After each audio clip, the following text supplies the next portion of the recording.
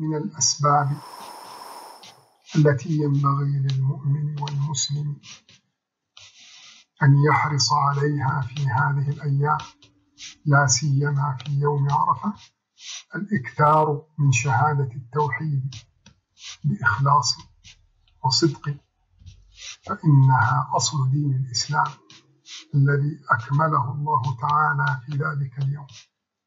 ففي المسند عن عبد الله بن عمر قال كان أكثر دعاء النبي صلى الله عليه وسلم يوم عرفة.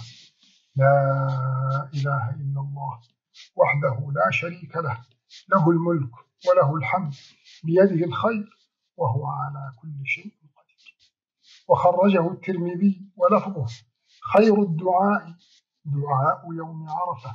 وخير ما قلت أنا والنبيون من قبلي لا إله إلا الله وحده لا شريك له.